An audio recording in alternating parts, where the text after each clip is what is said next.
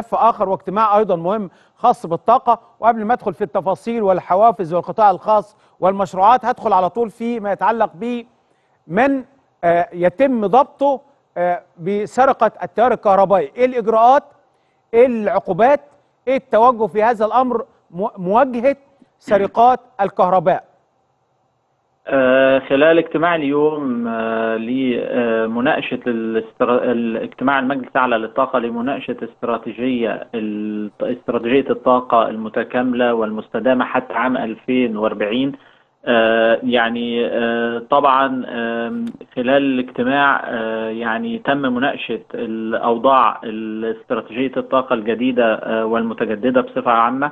آه، لكن النقطة اللي حضرتك بتأكد آه، عليها طبعا اللي هي مرتبطة بسرقات ال- آه، الطاقة. طبعا آه، ده كان أحد التكليفات أحد التكليفات اللي وجهها السيد رئيس مجلس الوزراء للسادة المحافظين في اجتماع الأمس.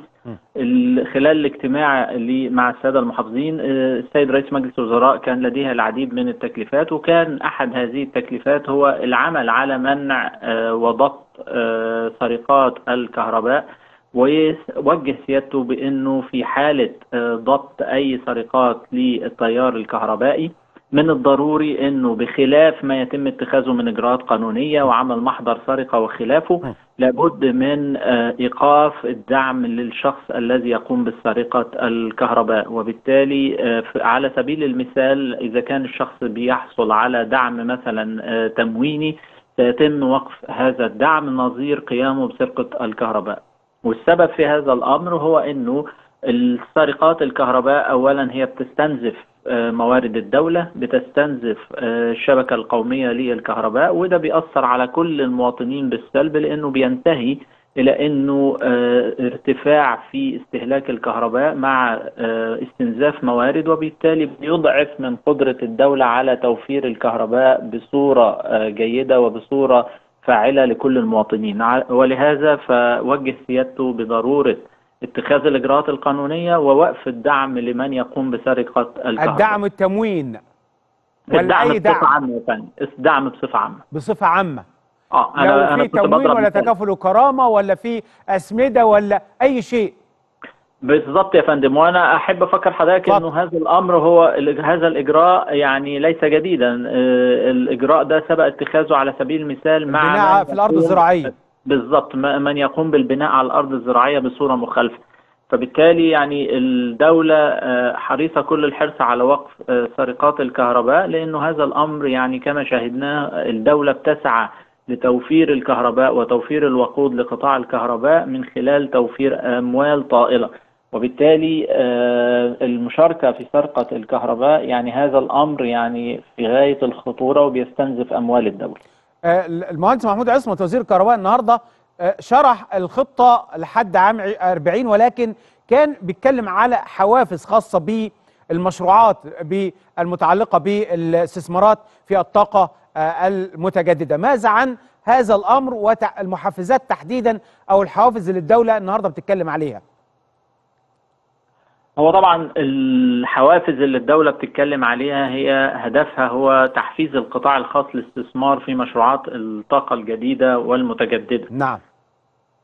وبالتالي الدولة بتسعى ل آه، على سبيل المثال توفير آه، آه، قدر كبير من الحوافز منها على سبيل المثال تخصيص أراضي لهيئة الطاقة الجديدة والمتجددة لإقامة المشروعات توفيرها للقطاع الخاص لإقامة تلك المشروعات. آه، ال- أيضا آه، آه، نحن نتحدث عن آه، تقديم آه، ضمانة حكومية للشركة المصرية لنقل الكهرباء لسداد قيمة الطاقة المشتراه من المستثمرين.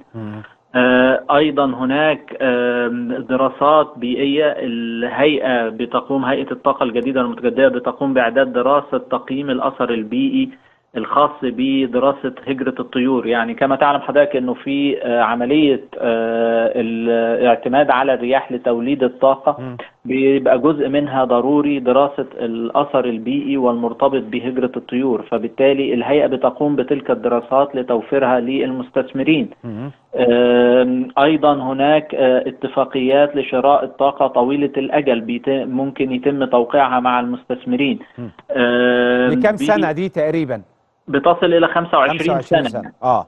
تصل إلى 25 سنة. مم. آه، أيضا الإجراءات من ضمن الإجراءات المحفزة منح الأرض لإقامة المشروع آه، مقابل نسبة 2% من الكهرباء المنتجة سنويا. آه، هناك آه، أيضا ت- يعني توجه لا بتدي له الأرض مجانا ومقابل ان يدوني 2% من من إنتاج الكهرباء بتاعته؟ من إنتاج الكهرباء المنتج سنويا. آه آه، آه، طبعا في أيضا كمان ممكن آه، تخفيض الجمارك على المكونات وقطع غيار النظم بتاعة الطاقة المتجددة اللي بيتم تخفيضها ل 2% بدل 5% مم.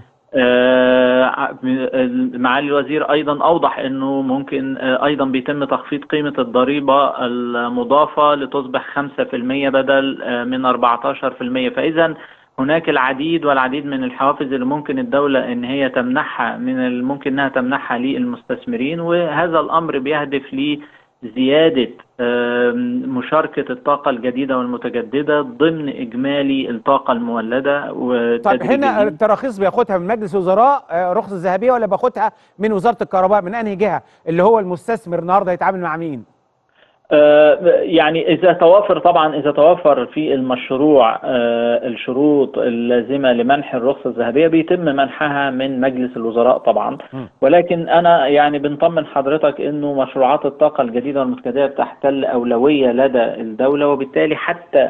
لو كان آه، المستثمر بيحصل على الرخصة من خلال التق- الإجراءات التقليدية فهناك توجه لدى الدولة لتيسير تلك الإجراءات وتسريعها وهناك يعني بطمن حضرتك إنه في تعاون كامل ما بين وزارة الاستثمار والتجارة الخارجية مع آه، وزارة الكهرباء آه، وب- آه، أجل يعني دعم المستثمرين وجذب المستثمرين لهذا القطاع. هل جرى الحديث اليوم حوالين إحنا خلاص داخلين على على شهر سبتمبر وبالتالي الإجراءات اللي كانت ما قبل الصيف هترجع تاني؟ هل جرى الحديث ولا ممكن يكون هناك أخبار إيجابية أحسن للناس وإنه الأمور هتمشي إيه هل تم هذا الأمر في هذا الاجتماع لم يتم مناقشة هذا الأمر آه. تحديدا ولكن يعني أنا بطمن حضرتك إنه السيد رئيس مجلس الوزراء يعني لديه آه، اهتمام آه، وأولوية قصوى لموضوع الكهرباء وإن شاء الله يعني بعد انتهاء آه، فصل الصيف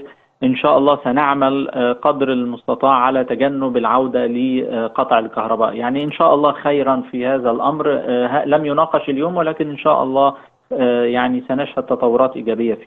بشكرك شكرا جزيلا مستشار محمد الحمصاني المتحدث باسم مجلس الوزراء. عايز حضراتكم بس تركزوا معايا شوية صغيرة. صغيرة قوي. فريق كامل وزير كان عامل